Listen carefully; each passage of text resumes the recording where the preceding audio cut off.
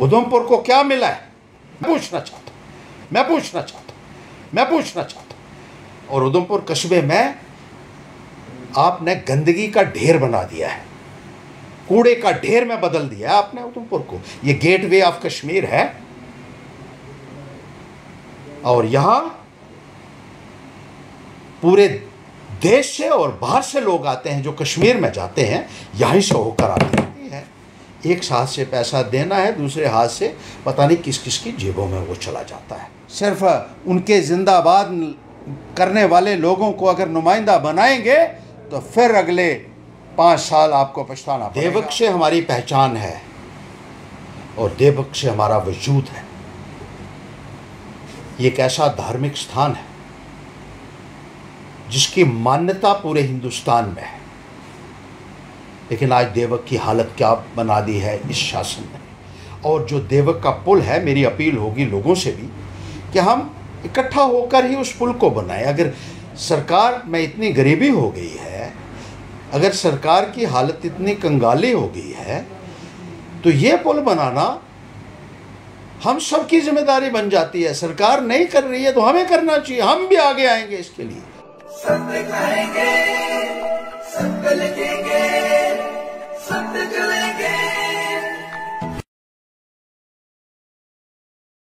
उधमपुर की जिस तरीके से अनदेखी हुई है भाजपा के शासन में, चाहे कस्बे की बात करें, चाहे गाँव की बात करें, इतनी किसी भी हुकूमत में नहीं हुई है।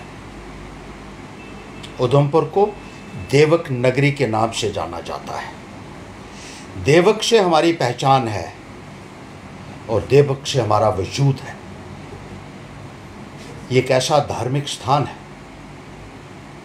जिसकी मान्यता पूरे हिंदुस्तान में है। लेकिन आज देवक की हालत क्या बना दी है इस शासन ने?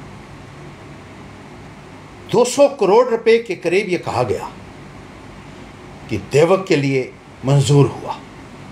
और लगा क्या है वहाँ पर? ये हम इन लोगों के ऊपर छोड़ देते हैं जो उधमपुर में रहने वाले हैं। एक पार्क बनाकर आप लोगों को मिसलीड करने की कोशिश कर रहे हैं। हकीकत यह है कि देवक की हालत बहुत ख़राब है। गंदगी के ढेर वहाँ अक्सर नज़र आते हैं और देवक की सफ़ाई जो हमारी प्राथमिकता होनी चाहिए थी, वो नहीं हो सकी, बिल्कुल नहीं हो सकी। गंदगी वहाँ से फेंकी जा रही है देवक में। प्लास्टिक के ढेर लगे हुए हैं। बड़े बड़े वहाँ जो हैं हीप्स जो हैं गार्बेज के बनाए हुए हैं। और देवक को एक तरीके से अपवित्र करने की कोशिश की जा रही है। जो पुल है देवक का, जिसको अनसेफ डिक्लेयर हुआ है, एक साल हो गया। उसके बीच में एक वो डाल दिया है लोहे का बड़ा सा, ताकि लोग इसके ऊपर चल ना सकें।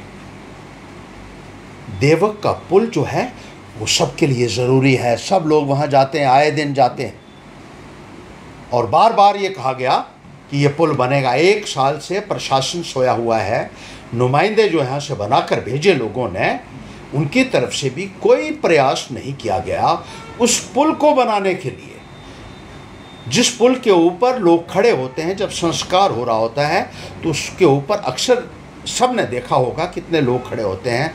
वो कभी भी हादसे का शिकार हो सकते हैं। लेकिन सरकार के कानों में जू भी नहीं रह रही पाँच, छह बार लोगों ने इन दस वर्षों में भारतीय जनता पार्टी को वोट दिया है। दो बार मेंबर पार्लियामेंट के लिए। आपकी यादाश्त में ताज़ा करवा दूँ, दो बार मेंबर पार्लियामेंट के लिए, एक बार एमएलए के लिए, फिर बीडीसी, फिर डीडीसी की इलेक्शन में, फिर काउंसलर्स की इलेक्शन में, म्यूनसिपैलिटी की इलेक्शन छः बार वोट दिया गया है इन दस सालों में। उधमपुर को क्या हासिल हुआ है? ये मौका अब आ चुका है जब हम इनसे सवाल करें। और जो देवक का पुल है, मेरी अपील होगी लोगों से भी कि हम इकट्ठा होकर ही उस पुल को बनाए। अगर सरकार में इतनी गरीबी हो गई है, अगर सरकार की हालत इतनी कंगाली हो गई है तो ये पुल बनाना हम सबकी ज़िम्मेदारी बन जाती है। सरकार नहीं कर रही है तो हमें करना चाहिए। हम भी आगे आएँगे इसके लिए। और अपील करते हैं, वहाँ पुजारी हैं, राजकुमार खजूरिया जी बैठे हैं। उनकी सदारत में उनसे कहेंगे कि हम सब आगे आएँगे। आप इनिशिएटिव लीजिए।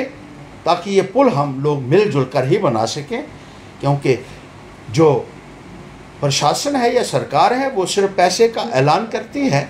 एक हाथ से पैसा देना है, दूसरे हाथ से पता नहीं किस किस की जेबों में वो चला जाता है। और ना केवल देवक का पुल, मैं पूछना चाहता हूँ इनसे कि बिरवा का पुल जो है, वो तीन साल से टूटा पड़ा हुआ है। अगर आर्मी नहीं होती कोई रास्ता नहीं होना था उधमपुर आने के लिए या उधमपुर से बाहर जाने के लिए। किसने किया सरकार सलमे का पुल है। सत्तर सालों में वो पुल नहीं बन सका। नहर के ऊपर से गाड़ियाँ उतारते रहे। नहर के ऊपर से गाड़ियाँ चलाते रहे। यही लोग नुमाइंदे बनते रहे हैं इस इलाके से क्यों नहीं बला सुलमे का पुल भी। उधमपुर के आसपास जितने पुल हैं सारे के सारे टूटे पड़े हुए हैं। और आज भी आप अपनी छाती बड़ी बड़ी ठोकते हैं। आप अपनी पीठ खुद थपथपाते हैं। ये मंत्री जो आते हैं बाहर से, ये किस लिए आते हैं? अपना जिंदाबाद करवाने के लिए आते हैं। बड़े बड़े भाषण करने के लिए आते हैं। उधमपुर को क्या मिला है? मैं पूछना चाहता हूँ। ये दो तीन तो मसले हैं जो साथ साथ के हैं और उधमपुर कस्बे में आपने गंदगी का ढेर बना दिया है। कूड़े का ढेर में बदल दिया आपने उधमपुर को। ये गेटवे ऑफ़ कश्मीर है। और यहाँ पूरे देश से और बाहर से लोग आते हैं जो कश्मीर में जाते हैं, यहीं से होकर आते हैं। क्यों तवज्जो नहीं है उधमपुर की तरफ़? क्या बनाया है? पिछले दस सालों में आपने ये बताइए। उधमपुर के लोगों के लिए। आज शहर के लोग खफा हैं, आज गाँव के लोग खफा हैं। कोई सुनवाई किसी की नहीं हो रही है सरकार के अंदर। मैं लोगों से अपील करना चाहता हूँ, अब मौका भी आपका आ रहा है। अब इलेक्शन आ रही है म्यूनसिपैलिटी की इलेक्शन आ रही है, पंचायत की इलेक्शन आ रही है। इसमें करारा जवाब दीजिए। जवाबदेह बनाइए अपने नुमाइंदों को, और ऐसे नुमाइंदे बनाइए जो सरकार से सवाल पूछ सकें जो उनको अब इस बदहाली के लिए कटघरे में भी खड़ा कर सकें, ऐसे नुमाइंदे बनाइए। सिर्फ़ उनके जिंदाबाद करने वाले लोगों को अगर नुमाइंदा बनाएँगे तो फिर अगले पाँच साल आपको पछताना पड़ेगा। ये मौका है। इसका फ़ायदा उठाइए और सही फैसला लीजिए, ताकि ठीक नुमाइंदे आपके चुने जा सकें। जो सवाल पूछ सकें सरकार से और सरकार को जवाब दे बना सकें।